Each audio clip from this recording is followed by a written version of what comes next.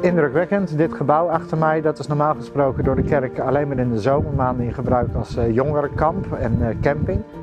Dat is nu ter beschikking gesteld voor vluchtelingen. Mensen uit Oekraïne kunnen zich hier melden, krijgen eten, drinken en onderdak. Een paar hele indrukwekkende verhalen gehoord. Het zijn ook hartverscheurende verhalen van mensen die hun familie kwijt zijn of hun familie gedeeltelijk daar uh, achter hebben gelaten en geen contact meer met ze kunnen krijgen.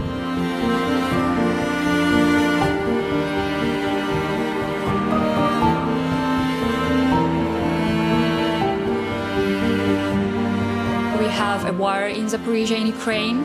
It's really bad for my family and for me and for maybe humanity in Ukraine. Now I stay in um, uh, Romania, Roman. Uh, I stay in uh, Roman and uh, we have people who help, of course. Is there still family from you in Ukraine?